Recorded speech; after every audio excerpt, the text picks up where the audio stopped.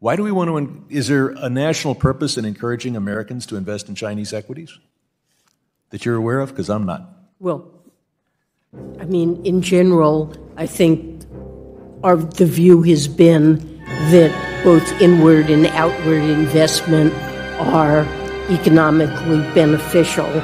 It, there um, certainly I'll, I'll want to move on to another issue, there but can it- cases encouraging the building of the Chinese economy is not thought by most members of Congress to be a good use of, of federal funds.